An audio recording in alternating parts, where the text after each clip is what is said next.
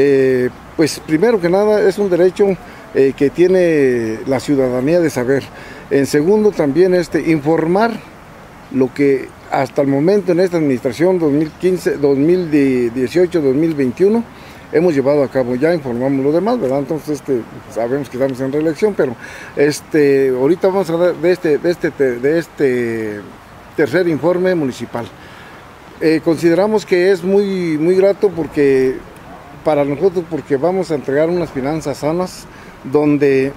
donde este, eh, vamos a dejar a nuestro municipio pues como debe de ser, ¿verdad? unas finanzas sanas donde no que dejemos deuda de nada, ni a proveedores, ni a constructoras, ni a nada de esto. Sin embargo, también queremos eh, decirles que hemos hecho mucho, que con poco dinero se ha hecho mucho, porque yo les puedo decir que eh, con recursos, hoy en, este, en esta administración no tuvimos recursos adicionales al presupuesto o recursos federales, ¿verdad? Eh, informarle las finanzas sanas que tenemos para en nuestro municipio y esperemos que la próxima administración quien esté este que los que van a estar al frente verdad este la próxima administración pues también también hagan esto lo mismo yo creo que de esta manera es como nosotros podemos, que con esta voluntad de servir, con esta voluntad de transparencia y sobre todo con honestidad, se hacen las cosas bien. Y con poquito dinero se hacen muchas cosas, pero sabiéndolo administrar. Gracias a nuestro tesorero que también supo hacer números y, por ejemplo,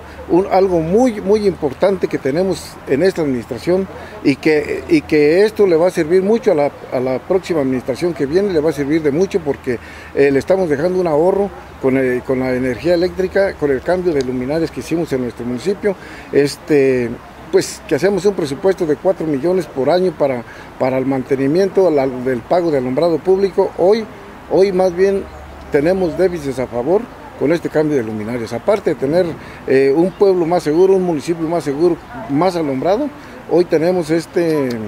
pues la oportunidad de, tener ese ahorro en beneficio del municipio para que se sigan haciendo obras mejores, obras más fuertes y sobre todo, pues yo creo que cantidades de obras más. Teníamos un promedio de 12, eh, de 2.000 luminarias registradas, hoy tenemos 2.300 luminarias, más siete canchas, eh, siete canchas este, iluminadas, canchas de fútbol, plazas públicas, todo bien alumbrado, bien iluminado. Y pues sobre todo el, ahorro de que hoy no pagamos un solo peso de, alumbrado público, al contrario, eh, la comisión nos está haciendo una devolución para, no nos lo entrega, pero eh, queda para el próximo recibo ahí.